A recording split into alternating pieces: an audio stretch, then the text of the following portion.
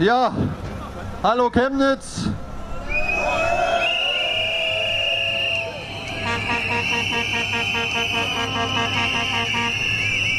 Sehr geehrte Herzmuskelentzündungsverweigerer, Glückwunsch erstmal an uns alle. Nicht nur zu der schönen großen Versammlung heute und zu dem beeindruckenden Zug, den wir hier gerade durch die Stadt gebildet haben. Nein, wir Impfzweifler, Gegner, Verweigerer, wir sind nicht mehr das Allerschlimmste und der finsterste Abschaum, den man sich vorstellen kann. Nein, wir wurden überholt. Das Schlimmste ist neuerdings Russe.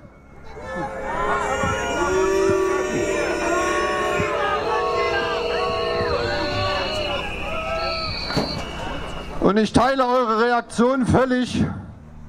Und es ist widerwärtig, mit angucken zu müssen, wie solche gleichen geistigen Gartenzwerge, die so mit einer wollüstigen Freude unvermummte und gesunde aus ihren Läden geschmissen haben, wie genau diese gleichen Typen jetzt nicht davor zurückschrecken, russischen Kindern das Mitmachen im Sportverein zu verbieten.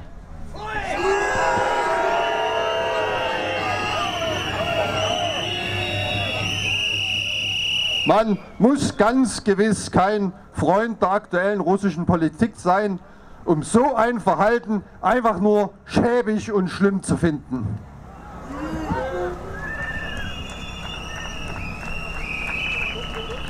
Der Münchner OB war sich nicht zu schade, selbst zwei russische Künstler aus seiner Oper zu entfernen, Leute von Weltruhm, weil die sich nicht laut genug distanziert haben. Also, wo kommen wir denn dahin? Die haben, die haben nicht mal diese ganze Sache, diesen Krieg befürwortet. Sie haben sich nicht nur deutlich genug distanziert. Das reicht heute schon, um seine Arbeit zu verlieren. Muss man sich mal vorstellen, wo wir wieder gelandet sind. Ich habe früher immer, habe früher immer nicht verstanden, warum die, warum die Geschwister Scholl zum Beispiel, na klar, dass die gegen die Regierung, dass die die Verbrechen auch damals schon gesehen haben, das ist ja klar. Aber warum die auch so eigentlich gegen ihre normalen Landsleute polemisiert haben, jetzt verstehe ich es. Da waren wahrscheinlich genau solche Tiefflieger unterwegs wie dieser Münchner OB und andere.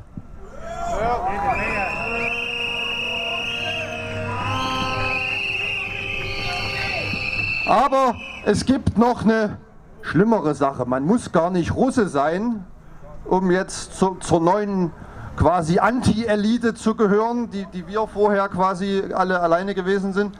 Es reicht schon, man ist Putin-Versteher. Also die Wortwahl sollte einem doch zu denken ge äh, geben. Also bloß weil man versucht, die andere Seite zu verstehen, ist man schon Feind. Das ist wie in den 30er Jahren in der Sowjetunion, da war eine der ganz schlimmen verfolgten Gruppen, das waren die sogenannten Versöhnler. Also wer sich dafür einsetzt, dass man das vielleicht alles wieder ein bisschen zusammenführt, der war unter Stalin äh, in Russland der größte Feind und kam in Lager, also Versöhnler. Und heute ist einer, der einen anderen versucht zu verstehen, ein Feind. Das sagt alles über den Zustand unserer Politik, unserer Medien, unserer Gesellschaft aus.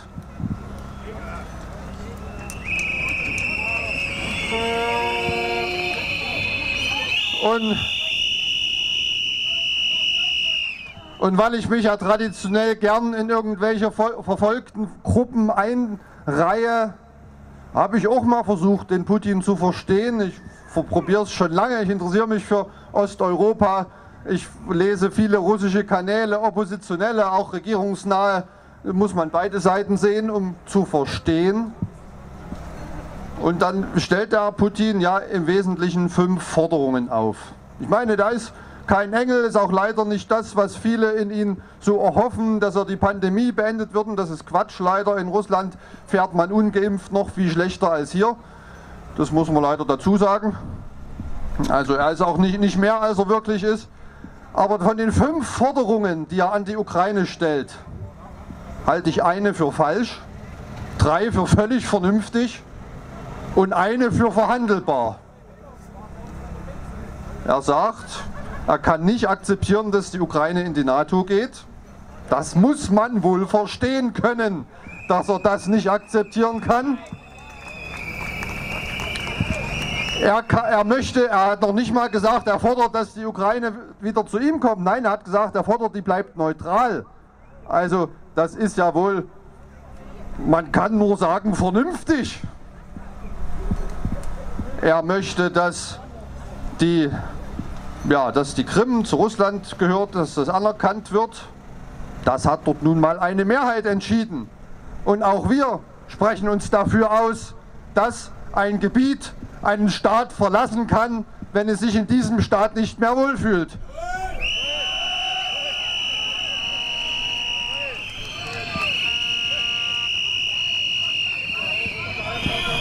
Die dritte Forderung war, dass die Ukraine keine Atomwaffen wieder sich beschaffen soll. Auch das kann man verstehen. Wenn ich einen Nachbar habe, mit dem ich mich gerade nicht so gut verstehe, was ja oft an beiden Seiten liegt, aber dann kann ich nicht gut zusehen, dass der unglaublich aufrüstet. So, das sind die drei Forderungen, die ich gut verstehen kann. Dann ist eine, die müssen wir zurückweisen. Das ist nämlich die, er nennt es Entnazifizierung. Das muss man natürlich ein bisschen übersetzen, denn Nazi ist im Moskauer Sprachduktus jeder, der die Geschichte ein bisschen anders sieht, als die Sowjetunion das gerne hätte. Und das geht ihn schlicht nichts an, wie seinen Nachbarn äh, quasi auf die Geschichte gucken und ob die vielleicht mit Symbolen rumrennen, die hier verboten sind und in Russland verboten sind, aber in der Ukraine eben nicht verboten sind. Also bitte, das ist denen ihre Sache. Also da hat sich keiner einzumischen, das muss man auch klar sagen. Und die fünfte Forderung, das ist die, dass man die Souveränität der Donbass-Republiken so, äh, akzeptiert. Und auch hier können wir Sachsen nur sagen, wir gestehen jedem zu, einen Staat, in dem man sich nicht mehr vertreten fühlt, in dem man systematisch benachteiligt wird, zu verlassen.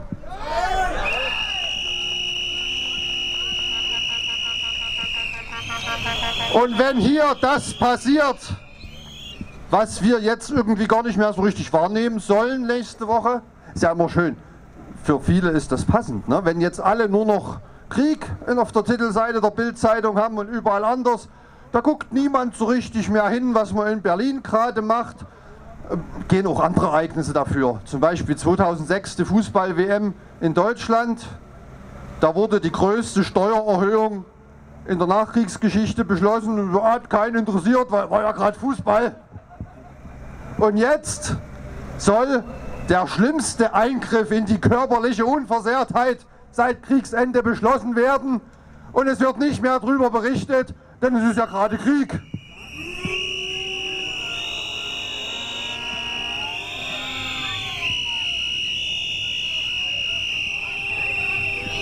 Während Russland Krieg gegen die Ukraine führt, führt unsere Regierung Krieg gegen uns.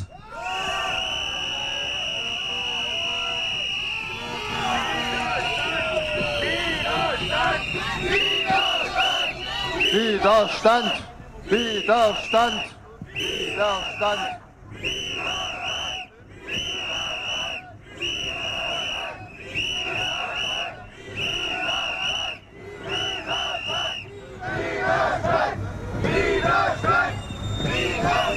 Ja, und wenn jemand sich so schlecht benimmt, dann gibt es natürlich Strafen oder auch Sanktionen. Wir kennen das ja alle. Also wer die Spritze nicht nehmen will, der darf dann nicht mehr einkaufen gehen und der darf nicht in die Gaststätte gehen. Und das, das haben wir ja alle durch. Und es funktioniert ja international genauso. Das nennt man dann, heißt es dann nicht mehr irgendwie Betretungsverbot, da heißt es dann Sanktionen. Also da dürfen uns die Russen kein Gas mehr liefern. Das stört uns eigentlich mehr als die. Wir dürfen dafür jetzt auch keine Gucci-Taschen mehr kaufen, wenn ich das richtig verstanden habe und, und Apple-Computer auch nicht, das wird ihnen nicht mehr geschickt. Damit können sie vielleicht leben. Ähm, gibt auch schärfere Sanktionen. Und ja, das sind so eine Art Strafen. Ne? Und das ist aber wie wenn ich jetzt zwei Kinder habe. Die spielen da so ein bisschen und das eine Kind nimmt ständig dem anderen die Spielzeuge weg. Die Erwachsenen, die stört das nicht, die gucken zu. Und nach einer ganzen langen Zeit lässt sich das andere Kind das nicht mehr gefallen und haut das eine um und holt sich sein Spielzeug wieder. Und dann kriegt das ein Donnerwetter und wird verprügelt von den Eltern. Das Kind wird diese Maßnahmen nie verstehen, denn es merkt, es ist ungerecht. Und wenn jahrelang zugeguckt wurde, wie in der Ostukraine Leute sterben durch ukrainische Kriegsmaßnahmen und es keinen interessiert. Und jetzt plötzlich aber es ganz schlimm ist, wenn Russland das gleiche macht, dann weiß die Bevölkerung in Russland, sie wird ungerecht behandelt. Ich will diesen Krieg mit gar keinem Wort gut reden. Aber Fakt ist, hier wurde ordentlich gezündelt und ordentlich provoziert und ordentlich gelogen. Ich meine, ich meine, könnt ihr euch erinnern, könnt ihr euch erinnern, 2003, dass wir dann hier keine Coca-Cola mehr importiert haben, weil äh, Amerika ja den Irak bombardiert hat, ohne jeden völkerrechtlichen Grund? Nee, kann ich mich auch nicht mehr erinnern. Ist vielleicht schon so lange her, deswegen. Ne? Da waren die Sanktionen, ich kann mich nicht mehr erinnern an die Sanktionen gegen die USA damals. Oder könnt ihr euch vorstellen, dass 2000 die BRD nicht bei der Fußball-EM mitspielen durfte, weil die Serbien bombardiert haben? Also unsere eigene Bundeswehr hat Serbien bombardiert. Könnt ihr euch bestimmt alle auch nicht mehr dran erinnern. Ist schon so lange her, dass wir deswegen von Sportereignissen ausgeschlossen worden sind, oder? Nee, können wir uns nicht mehr so erinnern. Na, vielleicht ein bisschen was, was näher liegt. 2020, vor anderthalb Jahren, könnt ihr euch da auch erinnern, dass das Benzin da auch über 2 Euro gekostet hat, weil man kein Öl mehr aus Aserbaidschan gekauft hat, weil Aserbaidschan nämlich den, einen der grausamsten und blutigsten Kriege der Nachkriegszeit gegen das kleine armenische Bergkarabach geführt hat, 2020 mit über 10.000 Toten in weniger als sechs Wochen. Könnt ihr euch daran erinnern? Oder dass vielleicht die Fußball-EM-Spiele dann ein Jahr später aus Aserbaidschan wegverlegt wurden? Könnt ihr euch daran erinnern? Nee, ich auch nicht. Hä? Komisch. Komisch. Wo die, wo die Sanktionen damals geblieben sind, das fragt man sich. Die sind also nur manchmal, also gegen, gegen Krieg und Kriegsbeginn muss man nur manchmal mit Sanktionen reagieren. Das ist doch seltsam. Vor über das letztgenannte Ereignis haben, denke ich, viele von euch nicht mal groß was gelesen.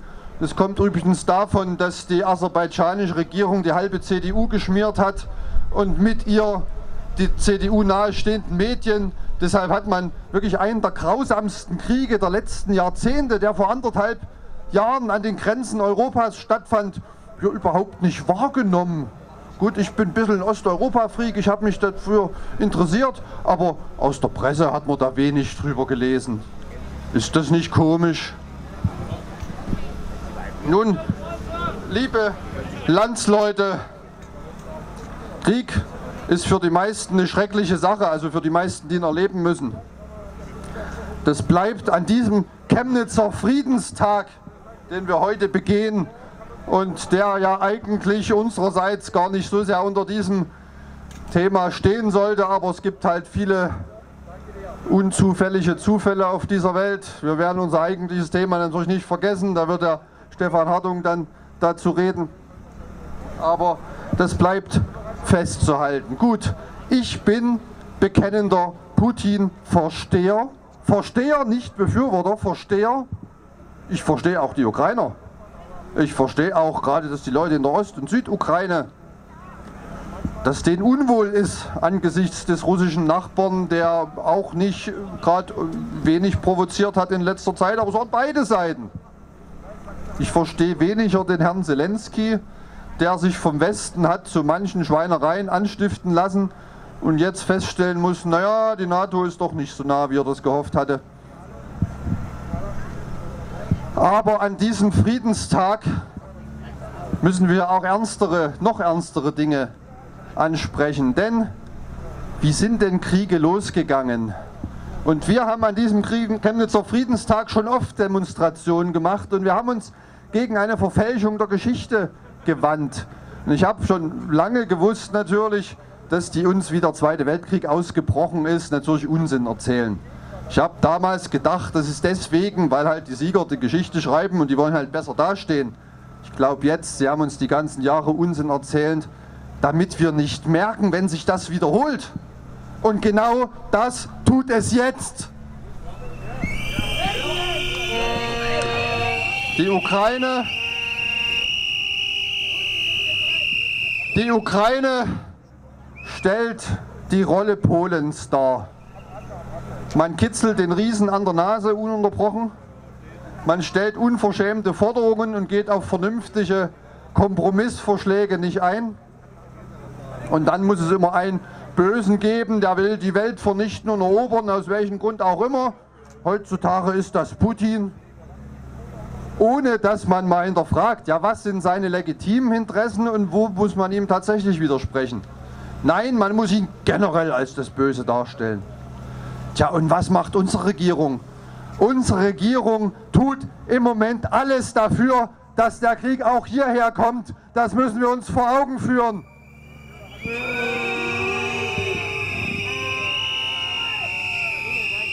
Und wenn die, wenn die so weitermachen, dann haben wir noch einen ganz wichtigen Grund, aus dieser BRD auszutreten und sofort unsere Neutralität zu erklären.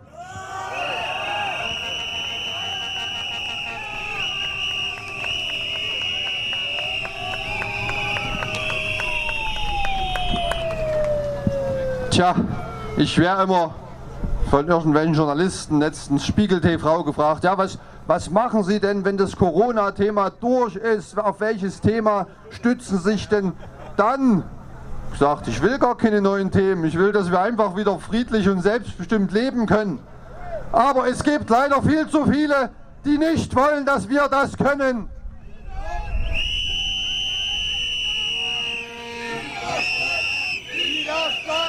Widerstand! Widerstand! Widerstand! Widerstand! Widerstand! Widerstand! In diesem Sinne haben wir jetzt das neue Thema, auf das wir uns wahrlich nicht gefreut haben. Die Ukraine stellt nämlich nicht nur Kabelbäume für Leipziger Automobilfabriken her, die jetzt nicht mehr produzieren können, man nannte die Ukraine früher auch nicht ganz zu Unrecht die Kornkammer Europas. Und steigende Benzinpreise werden bald unser allergeringstes Problem sein. Wer Geld übrig hat, soll sich ruhig ein bisschen mit Lebensmitteln eindecken.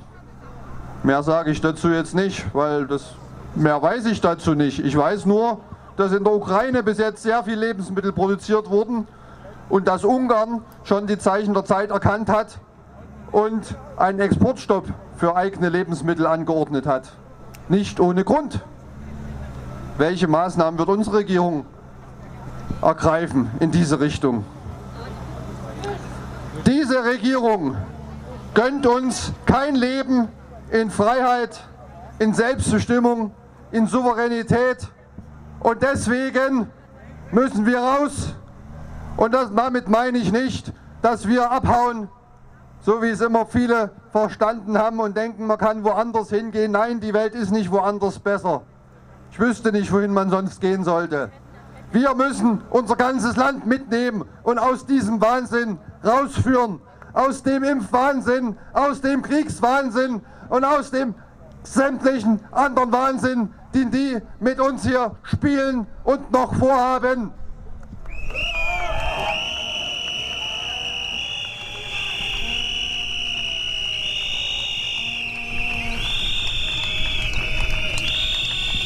Wir stehen hier, weil wir Sachsen sind und weil wir frei sein wollen. Dankeschön.